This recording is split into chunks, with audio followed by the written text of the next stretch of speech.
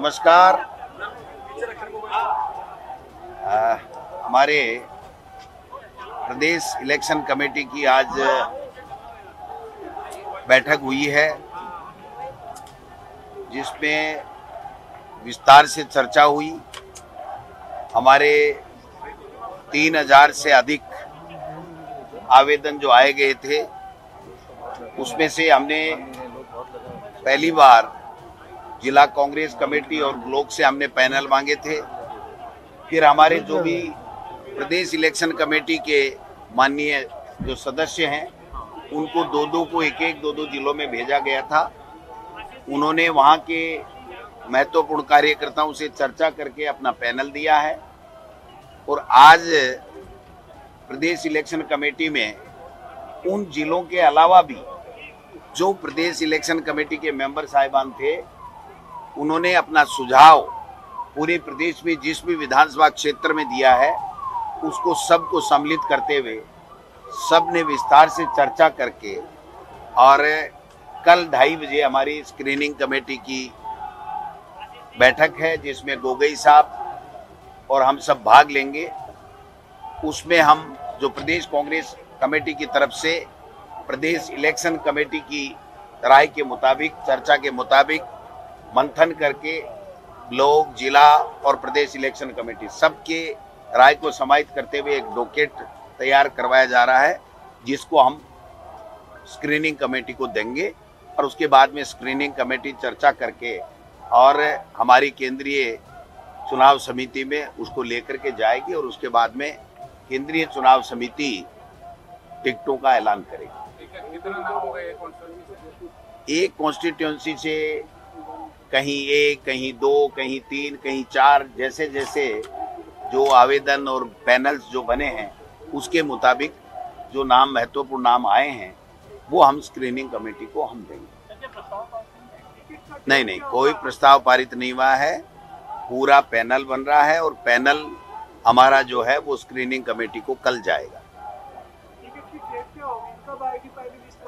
जब भी केंद्रीय चुनाव समिति की डेट डिक्लेयर होगी आपको सबसे पहले बताया जाएगा दाहिल साहब और उसके बाद में दूसरों को बताया जाएगा और उसके बाद में केंद्रीय चुनाव समिति जो है वो अपनी कार्रवाई करेगी। हमारा उसमें कोई डेट बताने का कायदा नहीं। ये विरोध जो चल रहा है किसी का विरोध नहीं है किसी का विरोध नहीं है। टिकट मांगने वाला टिकट माँगता है अपनी बात करता है और टिकट एक को मिलता है एक को ही मिलेगा। सबको अपनी अपनी बात कहने का अधिकार है, हम सब लोगों से मिल रहे हैं, सुन रहे हैं, जो भी कार्यकर्ता कांग्रेस का है, वो आराम से इतमान से अपनी बात काफ़ी दिनों से कह रहा है। प्रदेश इलेक्शन कमेटी के जो मेंबर साहिबान उनको भी कहा है, स्क्रीनिंग कमेटी ने भी यहाँ पर हर एक नेता से चर्चा की है। आज भी खुला हुआ मंच है, कोई दिक्कत नहीं है, कोई अपनी बात कहेगा, हम सुनेंगे और जो उचित बात होगी, वो स्क्रीनिंग कमेटी में हम लोग कहेंगे observers वगैरह सब जगह गया और हमने सर्वे भी वो वो वो जो लोकसभा वाइज ऑब्जर्वर्स हैं वो अपनी अलग अपनी कार्रवाई कर रहे हैं। इससे प्रदेश इलेक्शन कमेटी का कोई वास्ता नहीं। सर डैमेज जो टिकट वितरण के बाद डैमेज कंट्रोल को रोकने के लिए क्या रणनीति कांग्रेस की वो हमने कमेटियाँ बनाई हैं कि किस तरीके से कौन कौन नेता आएँगे कौन कौन उनको किस किस एरिया में भेजना है क्या स्टार प्रचारक कौन कौन होंगे, उसका भी हम लोग एक्सरसाइज कर रहे हैं डैमेज कंट्रोल का भी कर रहे हैं, फार्म भराने का भी कर रहे हैं, और ज़िले वाइज हमने समन्वय समितियाँ बनाई हैं, जो ज़िले की तमाम बातों के ऊपर नज़र रखेगी, वो कमेटी बैठक करके अगर हमसे कोई राय लेना चाहेगी, कोई हमसे सहायता लेना चाहेगी तो वो सब चीज़ें हमारी पूरी प्लांट वे में तैयार है बीजेपी में जो विरोध हो रहा है उससे आपकी उम्मीदें थोड़ी और ज़्यादा बढ़ गई होंगी नहीं उम्मीदें तो पहले से ही बड़ी हुई हमारी, उनसे क्या है हमारा? हम तो हंड्रेड वन परसेंट कांग्रेस की सरकार रिपीट हो रही है। बीजेपी ने आखिरी दाव चल दिया। आखिरी दाव ये था कि जो दस साल से या पाँच साल से जो एमपी फेल हो गए थे, कोई काम नहीं किया, उनको यहाँ पर उतार करके उन्होंने ये साबित कर दिया कि लोकसभा में जिसने काम नहीं किया, उसको दिया तो उनके तो चांस वैसे ही ज़ीरो हो गए। तो वो तो जीतने वाले हैं नहीं। वरना कोई होता है? एमपी और आपने देखा है कहीं कि इस तरीके से ऊपर से बड़े बड़े नाम आकर के फिर नीचे अब ये सरपंच या पंचायत समिति का मेंबर भी इनको लड़ाए नहीं लड़ाए वो तो इनको सोचना है। तो क्या आप आपके जो संसद में जिन सांसदियों में जो आपने उतारे हैं आपकी पार्टी उनको टिकट नहीं मिलेगा हमने कहाँ उतारे हैं? हमने तो हमारा हम हमने तो हमारा जो स्क्रीनिंग कमेटी को कल पैनल देंगे फिर तय होगा। हमारा तो एक भी टिकट तय नहीं है मेरा भी नहीं तय है। चौटासरा जी अलायंस की बात है। अब समय नज़दीक आ चुका है। तो अलायंस अलायंस का काम पार्टी हाईकमान और हमारे प्रभारी ये सब देखते हैं तो उसके ऊपर मैं कोई टिप्पणी नहीं कर सकता। तो सर्वे तो बात- सर्वे की बात कही जा रही थी रहेगी सारी बात ये सारी बात सारी बात पीसी की मीटिंग की आपको ब्रीफ कर दी गई। पीसी की मीटिंग की आपको ब्रीफ कर दी गई। मैं समझता हूँ पहली बार हुआ है, बहुत लंबे अरसे बाद में। जब प्रदेश कांग्रेस कमेटी के अध्यक्ष जी ने तमाम पीसी सदस्यों को ये ज़िम्मेदारी दी कि आप लोग खुद जाके असेसमेंट करें जिलों के अंदर। उनका असेसमेंट आ गया, उनको ये छूट दे दी गई। उसके अलावा भी जो भी राजस्थान में विधानसभा क्षेत्र है, उसमें कोई राय देना चाहे वो भी दे सकते हैं आप लोग। बहुत स्मूथली तरीके से मैं समझता हूँ कि पूरा प्रोसेस चल रहा है। स्मूथली तरीके से पूरा प्रोसेस चल रहा है। और जैसा भी आप कह रहे थे, लोकसभा के या जो सेक्रेटरी आए हुए हैं, वो दौरे कर रहे हैं, उनके अलग फीडबैक मिलेगा। नंबर तीन जो सर्वे किए जाते हैं एजेंसी द्वारा, वो अलग काम चल रहा है। तो मैं समझता हूँ कि ओवरऑल जो है स्क्रीनिंग कमेटी जब बैठेगी तो वो सब बातें ध्यान रख करके फैसला करेगी। उसके बाद सी सी बैठनी है, वो अध्यक्ष जी बता देंगे तारीख आपको, जब होगी तब। तो उसके बाद वो वहाँ पर ठप्पा लगेगा। तो कांग्रेस में बहुत ही स्मूथली सब काम चल रहा है और जो उत्साह है लोगों के अंदर, वो आपके सामने है। आप किसी गाँव में चले जाओ, किसी भी गाँव में, किसी को पूछ लीजिए आप, यहाँ पे आम लोगों को। तो वो ये कहेंगे कि सरकार के खिलाफ में कोई एंटी इनकमेंट नहीं है। सरकार के विरोध में कोई लहर नहीं है। सबसे बड़ा पॉइंट आज राजस्थान के अंदर ये है। सारी स्कीमों को लोग वेलकम कर रहे हैं। सरकार विरोधी लहर जो होती है जहाँ सरकारें चलती है, वहाँ लहर होती होती है थोड़ी बहुत। ये पहला राज्य राजस्थान है, जहाँ पर कोई सत्ता विरोधी लहर नहीं चल रही है। और जब मैं ये कह रहा हूँ, सोच समझ के कह रहा हूँ, किसी को पूछ लीजिए आप तो आपको सब एक एक स्वर में कहेंगे। ये हमारा प्लस पॉइंट है। और मैं उम्मीद करता हूँ उसी रूप में हम आगे बढ़ेंगे तो कामयाब हो जाएँगे। सर एक आरपीएस मेंबर की नियुक्ति की बात चल रही है तो आपने ट्वीट भी किया इसको लेकर। तो क्या सर देखिए वो मैंने ट्वीट किया वही बात है। क्योंकि देखिए पेपर आउट बड़े बदनामी वाली बात होती है। गुजरात में भी हो रहे हैं यूपी में हो रहे हैं अधिकांश राज्यों में पेपर आउट हो हुए आर्मी के अंदर हो गए। या जुडिशरी में हाईकोर्ट के एग्ज़ाम हो रहे तो वो रोकने पड़े। ये चिंता विषय सबके लिए होना चाहिए, सोसाइटी के लिए होना चाहिए, समाज के लिए होना चाहिए। जो छात्र मेहनत करते हैं, और जब मौका लगता है तो मालूम पड़ता है कि आप पेपर लीक हो गया। क्या बीतती हुई उसके ऊपर? आप समझ सकते हैं। कोचिंग में जाते बच्चे बेचारे, उनकी क्या स्थिति बनती है? ये चिंता वाली बात थी। हम लोग जान बूझ के सोच थे इस बार कोई ऐसे लोग लें जिसकी जिसे एक मैसेज भी जाए कि वास्तव में पेपर लीक नहीं होना चाहिए, किसी कीमत पर। और इसीलिए हमने तय किया भाई कोई रिटायर्ड आर्मी के लोग हैं। पहले आपको मालूम होगा कि एक मिस्टर एम के कुमावत थे। एडिशनल सेक्रेटरी थे होम मिनिस्ट्री के अंदर। डीजी पुलिस थे आंध्र प्रदेश के अंदर, राजस्थान के रहने वाले थे। उनको हमने चेयरमैन बनाया था। ऐसे कई प्रयोग हमने किए हैं। इस बार भी हमने देखा कि कोई आर्मी बैकग्राउंड को लेंगे तो ज़्यादा ठीक रहेगा। सबोर्डिनेट जो सिविल बोर्ड है, उसमें हमने आर्मी के जो थे, मिस्टर नाम भूल गया मैं। आलोक राज मैं उनको जानता नहीं था। मैं बिल्कुल नहीं जानता था। उनको जानता था, इस केसी जी को जानता था। केसी जी ज़रूर आए थे, एक बार टिकट की मांग करने, मकराना से आए थे। अभी तैयारी बताई था कि मेरी तैयारी यही है तो मैंने बात उनकी सुन ली बस। इतनी हमारी परिचय था। ना तो उन्होंने खुद ने मांग करी आर पीछे की, दोनों ने, ना किसी सिफारिश करी। हमने उसी समझा कि बहुत टाइम बीत गया अचानक लागू हो जाएगी। उसके पहले अगर हो जाता है दो महीने और बच जाएँगे क्योंकि हमने तीन लाख सर्विसेज़ का काम शुरू कर रखा है। अधिकांश नौकरी लग चुकी है। बाकी बाकी का काम चल रहा है। तो हमारे दो महीने की चुनाव की दंग, दंगल के अंदर और लोग सफ़र क्यों करें? ये सोच के हमने आ, नाम को पुटअप किया। माननीय राज्यपाल महोदय ने अप्रूव कर दिया और वो बना दिए गए। बाद में मालूम पड़ा कि जो उनके जो ट्वीट थे या जो उनका जो जो उन्होंने वीडियो वीडियो वायरल किया, बहुत बहुत दुख हुआ, बहुत धक्का लगा। मैं आज भी आहत हूँ कि एक आर्मी का 22 साल का सर्विस किया हुआ आदमी, आर्मी का कोई व्यक्ति होता है ना, वो देश प्रेम की भावना रखता है। देश के लिए मर मिटने तैयार रहते हैं। उसके लिए जाति, धर्म, वर्ग सब पीछे हो जाते हैं। आर्मी वही लोग जाते हैं। वो व्यक्ति अगर मान लो रिटायरमेंट के बाद में अगर अपनी जाति के साथ में बातचीत करे तो थोड़ा सेम बरतना चाहिए ट्वीट करे कोई जाति के खिलाफ में किसी व्यक्ति के खिलाफ में वो कतई स्वीकार नहीं हो सकता। है इसलिए मैंने कंडेम भी किया उसको। कंडेम भी किया है अनफॉर्चुनेट भी है, दुखद भी है, ऐसा होना नहीं चाहिए था। क्योंकि आरपीएस मेंबर बन गए तो मुझसे भी तो मिले भी नहीं है। कटती कॉल भी नहीं हो पाई है। हमने प्रयास किया भाई उनसे वापस बुला के बातचीत करें, पर वो अभी आ नहीं रहे तो अनफॉर्चुनेट घटना हो गई और मेरे से हुई है। मैंने ही जो जान भूल करके आर्मी के बैकग्राउंड के लोग लेने के लिए मैंने ही जो बार्डर थे, उसके अकॉर्डिंग टू और थोड़ा लालच भी था कि हमारी एक सीट मकरानी खराब क्यों हो। तो चलो, बैकग्राउंड अच्छा है, जो लिखा हुआ था, एक बाईस साल की सर्विस है, हमने नाम रिकमेंड कर दिया और वो घोषित हो गया उसका बहुत दुखी हम लोगों आज भी दुख डिज़ाइन बॉक्स पर भी आरोप लग रहे कि उन्होंने जो सरकार के जो कार्यक्रमों के जो डाटा ये हमारे पार्टी के अंदरूनी मामले हैं।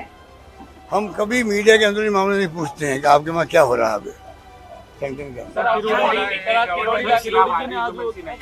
बट कुछ लोकल एमएलए के खिलाफ भी एंटी इंक्यूमेंसी की खबर आ रही है। गवर्नमेंट के खिलाफ ओवरऑल नहीं है बट एमएलए के खिलाफ देश में कहाँ पर चुनाव हो? और लोकल एमएलए के खिलाफ में कोई कमेंट नहीं हो, बता दीजिए आप। जो सीधा जनता जुड़ा रहता है, उसके खिलाफ में सच्चाई भी हो सकती है, अफवाह भी हो सकती है, और उसके खिलाफ षड्यंत्र भी हो सकता है। ये चलता रहता है। अल्टीमेटली जब क्षण के बाद जाएगी, और जहाँ देखेंगे भाई जीतने वाला उम्मीदवार है, उसके अकॉर्डिंग टू हाईकमांड फैसला करेगी। वो हम सबको मंजूर होगा। सर किरोड़िया पाँच सौ करोड़ रुपए लोकर्स में प्राइवेट लोकर्स में पाँच सौ रुपए होने के आरोप लगाए। अभी शाम को आईटी की बात रेड की देखिए ये मिली भगत है केंद्र सरकार की और गौरी मीणा जी की। उनको पूरा गाइड करते हैं वो लोग कहाँ कहाँ सरकार की बदनामी कैसे हो स्टेट के अंदर। अब लॉकर किसके हैं? क्या हमें क्या मतलब उनसे? वो मीडिया को लेके चले गए मैंने सुना धरना दे दिया। ये उनकी फितरत है। वो अपनी ज़िंदगी भर ही काम करते गए हैं किस प्रकार न्यूज़ में रह जाए। ईडी के दफ्तर में वो जाते हैं उनके आदमी जाते हैं। ईडी को वो भड़काते हैं जाके झूठी सच्ची शिकायतें करते हैं। ईडी को मौका मिलता है जाके हम लोग को इनको कार्रवाई करें। ये बराबर खबरें आती रहती उनके बारे में। उनके बारे में कोई नई बात हमारे लिए नहीं है।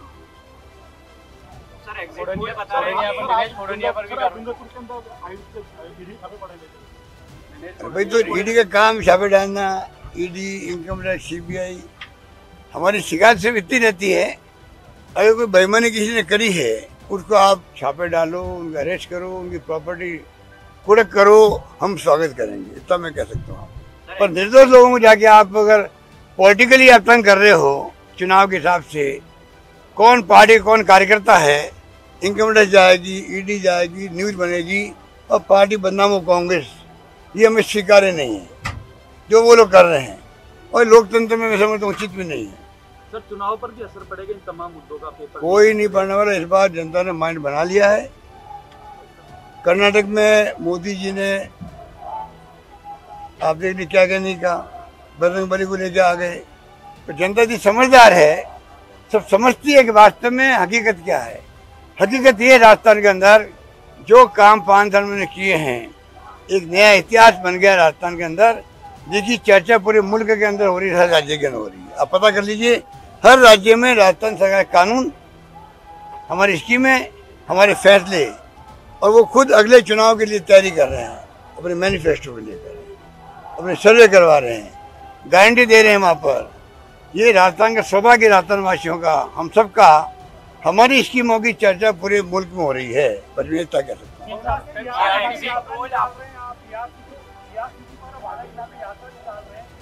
हमारी यात्रा देखिए आप पहले अध्यक्ष जी कह चुके हैं हम मीटिंग के माध्यम से यात्रा कर रहे हैं।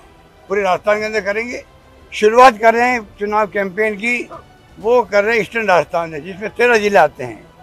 शुरुआत हो रही है सोलह तारीख को। सोलह तारीख को जो है खड़गे साहब आ रहे हैं बारह के अंदर वहाँ से शुरुआत हो जाएगी। उसके बाद में प्रियंका जी आएगी बीस तारीख को यहाँ पर शिकराई के अंदर। तो ये यात्रा की पार्ट है। जहाँ जहाँ हम जाएँगे पार्टी ने तय किया है कोर ग्रुप ने तय किया है हम तेरह ज़िले जो हैं वहाँ हम लोग बड़ी मीटिंग छोटी मीटिंग करेंगे इनको एक्सपोज करेंगे एक प्राइम मिनिस्टर के मुँह से सब निकल जाए। रिकॉर्ड के अंदर मीडिया के पास में। तेरह ज़िले के नाम लिए गए। आप बताइए कि राष्ट्रीय परियोजना क्या होती है? सोलह योजनाएँ चलती है, आप सत्रहवीं हो जाती है। नाइन्टी टेन का रेशियो में पैसा मिलता है राजस्थान को योजना जल्दी पूरी होती थी सिंचाई भी होती पानी की संकट कम होता उसको रोड़े अटकाया गया पाँच साल तक, क्योंकि हमने उस योजना को बंद नहीं किया। हम बंद करते वो बदनाम करते हमें। हमने तो कहा नहीं, पुरानी सरकार योजना है, इसको हम आगे बढ़ाएँगे। और आप देख लो एलोकेशन करें हम लोग, चौदह हज़ार करोड़ इस बार किया हम लोगों ने। उन्होंने रिफाइनरी बंद कर दी, मेट्रो बंद कर दी, पीटी सरकार ने। हम ये काम नहीं करते। उसके बाद में भी जो रवैया है सरकार का आप सोच सकते हो कि ये सरकार चाहती क्या है? एक स्टेट के साथ में, और वही मंत्री हमारे यहाँ का। उसके बाद में उनको संकोच नहीं है, शर्म भी नहीं है कि लोग क्या सोचते होंगे मेरे बारे में। यहाँ का मंत्री पानी का विभाग, बहुत इंपॉर्टेंट विभाग है। कैबिनेट मंत्री है। उनको एहसास होना चाहिए, मैं किस पद पे बैठा हुआ हूँ? उस ढंग से उनको बिहेव करना चाहिए था। प्रधानमंत्री को कन्विंस करना चाहिए था। वादा याद दिलाना चाहिए था। बल्कि उन्होंने कह दिया, प्रधानमंत्री के मुँह से ये सब निकले ही नहीं है मैं इस्तीफा दे दूँगा राजनीति से। जब महेश जोशी जी, हमारे पीएनडी मंत्री ने कहा कि प्रधानमंत्री वादा निभाए, वहीं जाके माइक पे वापस खड़े हुए और ये कहा, बिल्कुल झूठ बोलो आप। पीएम ने कहा ही नहीं, मैं खुद मीटिंग मौजूद था।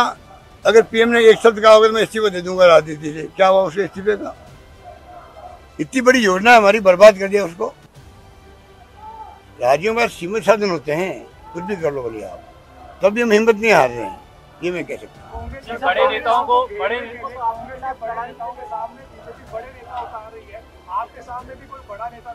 बड़े नहीं छोटे हारे हुए रिजेक्ट किए हुए। मेरे सामने आए ना सुभाष जी मेरिया नौ में नौ में रिजेक्ट हुए थे आज तक पटड़ी गाड़ी पे नहीं आई वापस अब तो मैरिया जी मैरिया जी आए हार के गए और हारने के बाद में कहाँ गए? कांग्रेस में आ गए। अब पूछो, इनका ईमान धर्म क्या है?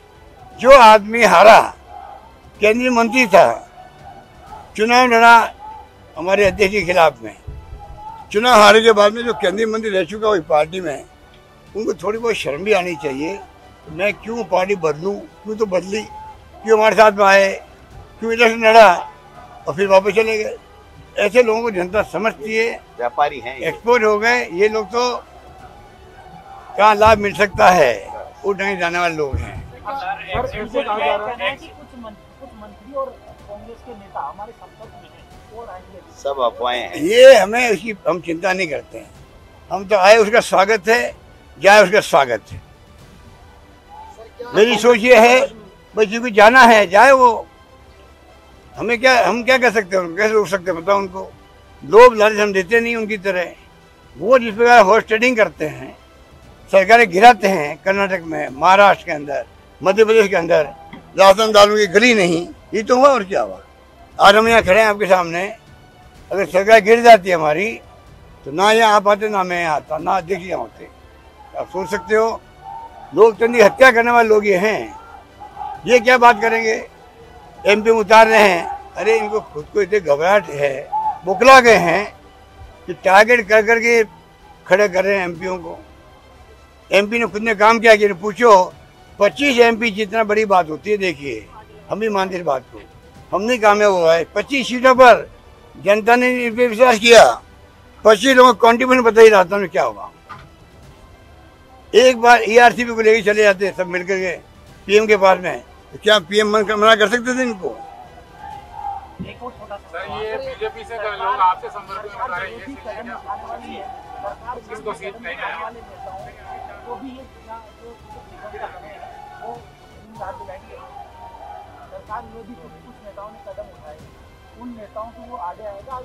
देखिए अभी तो कोई आड़े आड़े कुछ नहीं आएगा। ओनली वन क्राइटेरिया विनिबिलिटी अब पाँच साल में क्या हुआ, क्या नहीं हुआ, हर पार्टी में छोटी मोटी घटना होती रहती है। छोटी भी होती है मोटी भी होती है। आज हम चाहते हैं, सारी बातें भूल करके ऑन मेड में टिकट मिले सबको मिले, चाहे कोई किसी भी, किसी का गुट मानो हो या कोई घटना दुर्घटना की आप याद दिला रहे हो, मुझे आप। हमारी नज़र में ये बात है, हम सब मिलके इलेक्शन लड़ें, निष्पक्ष होकर चुनाव लड़ें निष्पक्ष हो गए सिलेक्शन होगा उनका। हाईकमान सबको साथ लेके चलेगी।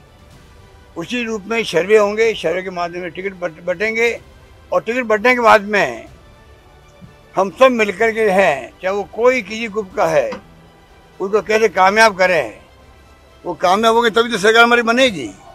हमें कोई भ्रम नहीं देखिए। हम चाहते हैं जनता के बीच जाएँगे हम लोग और जनता में जो आज ज्ञान और जहन में घुस गई बात इस सरकार ने हमारे लिए काम किया है। मैं समझता हूँ इस बार जनता का आशीर्वाद हमें मिलेगा। और आपकी चर्चा है कि आप चौबू से टिकट लड़ रहे हैं। चर्चा चल रही है कि आप चौबू से चुनाव दो सीटों से चुनाव लड़ सकते हैं। पता नहीं आप सुनते तो मैं आप सुनता रहता हूँ। ये बीजेपी का टिकट है? कुछ लोगों बीजेपी वाले आपसे संपर्क में बता रहे हैं। सारे ही हैं राज कांग्रेस का आ रहा है तो वहाँ लड़ कौन रहा है। इतनी मस्कत के बाद में इकतालीस नाम तय किए वो भी दस दिन तक लिए बैठे रहे। और अब जो हाल हो रहा है सड़कों पे और कार्यालयों में वो आप देख रहे हो। ये तो मामला फैल हो गया लेकिन 2008 के चुनाव में 17 टिकट मिले फिर 13 के अंदर 16 थोड़ा इंतज़ार कीजिए। थैंक यू नमस्कार।